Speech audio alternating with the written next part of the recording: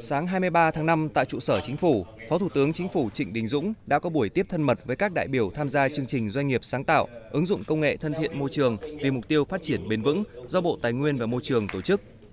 Tham dự buổi tiếp có Bộ trưởng Bộ Tài nguyên và Môi trường Trần Hồng Hà cùng đại diện 46 doanh nghiệp ứng dụng công nghệ thân thiện môi trường vì mục tiêu phát triển bền vững.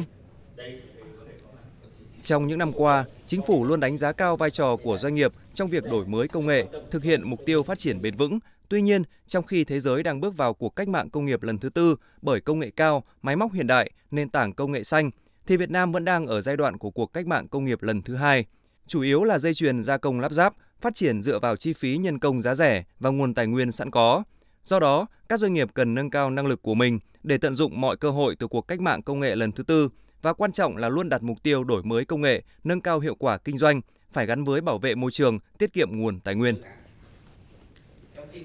Tại buổi tiếp, Phó Thủ tướng nhấn mạnh tăng trưởng xanh và phát triển bền vững là vấn đề Đảng, Nhà nước, Chính phủ rất coi trọng. Trong thời gian tới, Việt Nam đặt mục tiêu đảm bảo ổn định kinh tế vĩ mô, tạo chuyển biến rõ rệt trong thực hiện ba đột phá chiến lược, đó là phát triển hạ tầng, thể chế kinh tế xã hội và phát triển nguồn nhân lực, nâng cao tính tự chủ của nền kinh tế, đảm bảo an sinh xã hội, chủ động ứng phó với biến đổi khí hậu, phòng chống thiên tai, tăng cường quản lý tài nguyên và bảo vệ môi trường.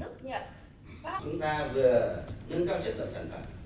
nâng cao năng suất, nhưng phải đảm bảo để chúng ta sử dụng công nghệ như thế nào để đảm bảo tạo ra những sản phẩm mà không chỉ vì chúng ta mà lại ảnh hưởng đến người khác. Đấy là những sản phẩm thân thiện với môi trường. Tôi đánh giá rất cao cái đội ngũ doanh nhân của chúng ta và hôm nay là những doanh nhân tiêu biểu, rất là tiên phong trong việc nâng cao chất lượng các sản phẩm nhưng mà trong đó lại quan tâm đến vấn đề môi trường, tức là phát triển xanh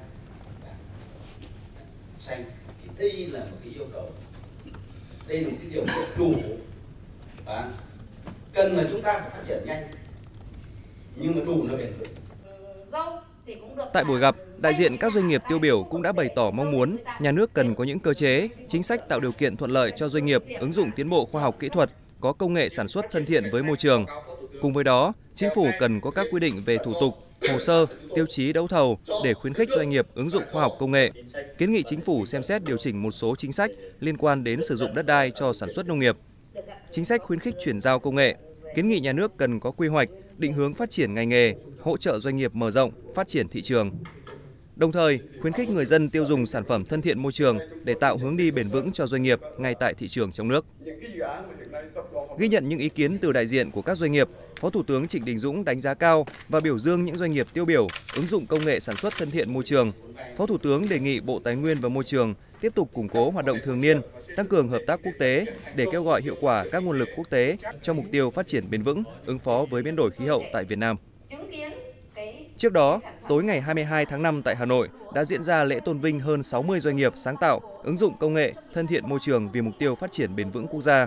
Đây là hoạt động hữu ích nhằm hưởng ứng Ngày Môi trường Thế giới mùng 5 tháng 6 do Bộ Tài nguyên và Môi trường chỉ đạo, Báo Tài nguyên và Môi trường tổ chức thực hiện.